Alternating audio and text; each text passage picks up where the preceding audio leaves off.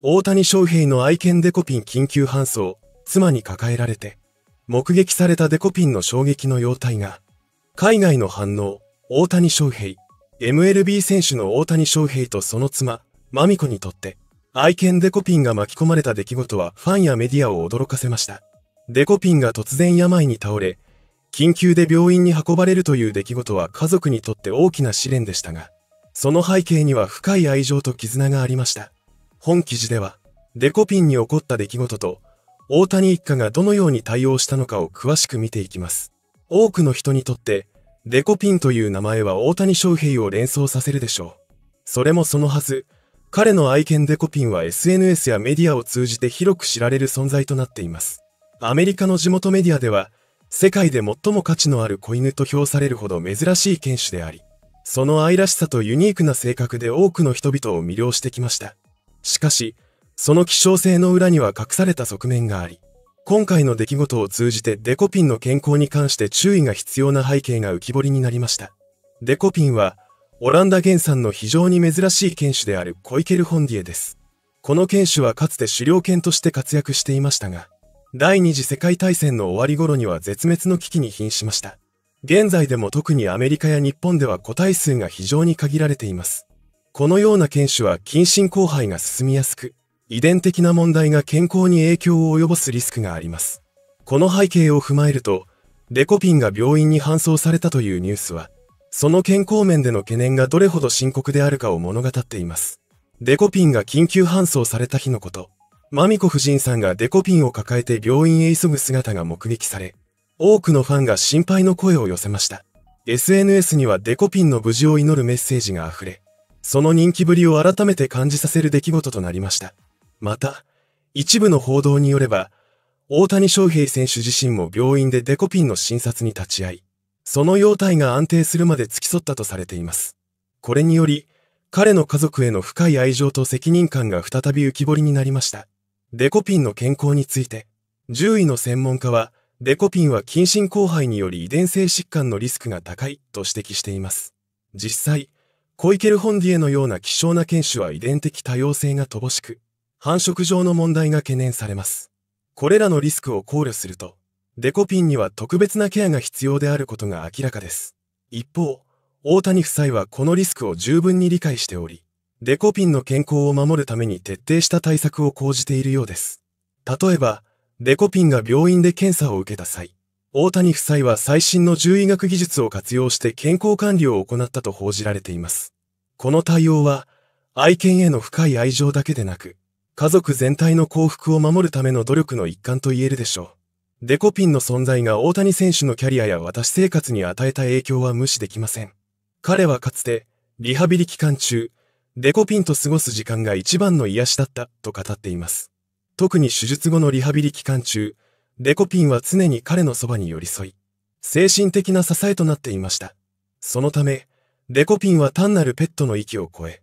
大谷夫妻にとっては家族そのものと言える存在です。このような背景から、デコピンの健康問題は、大谷夫妻に大きな精神的影響を与えたと考えられます。さらに、デコピンの人気は日本だけでなくアメリカでも広がりを見せています。特に、MVP 受賞の瞬間にソファから飛び降りたデコピンの姿は、多くの視聴者の心をつかみました。その後、デコピンの健康状態に関する報道が増え、回復を願うファンの声がますます高まっています。一部のアメリカメディアは、大谷夫妻の愛情に支えられるデコピンの姿に注目し、その絆を称賛しました。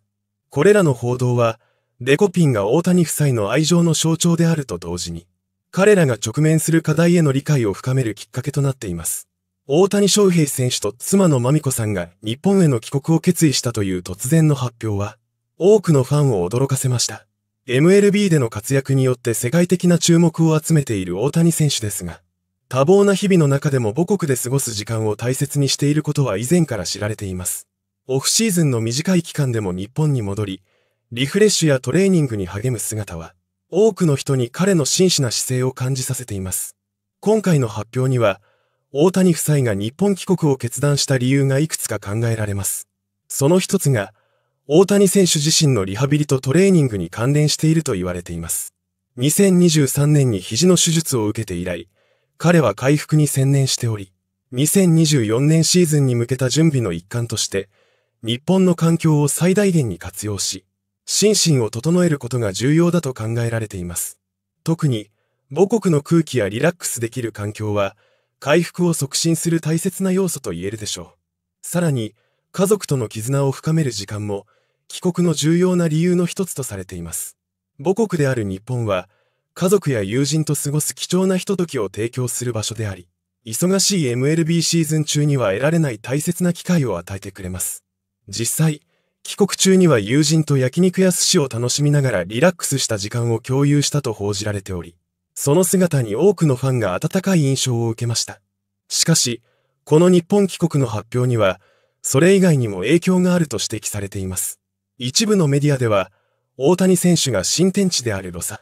ンゼルス・ドジャースでのプレッシャーから一時的に、距離を置いているのではないかと推測しています。ドジャースへの移籍後、彼は新しい環境への適応やパフォーマンスの維持に取り組んでおり、その過程で精神的なリフレッシュが重要な役割を果たしていると考えられています。大谷選手の日本帰国の意義について、ファンやメディアの間で様々な議論が交わされています。彼のプロフェッショナルな姿勢や家族を大切にする姿に感銘を受けたという声もあれば、今回の帰国が次のシーズンにどのような影響を与えるのか注目している人々もいます。特に、日本での休養期間が心身の回復にどのように役立つのか、そしてそれが2024年シーズンのさらなる活躍につながるのか、期待が寄せられています。この突然の発表は、単なる日本への帰国ではなく、大谷選手が次なる挑戦に向けた準備の新たな一歩と見られています。一方で、12月4日に行われたスネル選手のロサンゼルス・ドジャース入団発表会見は、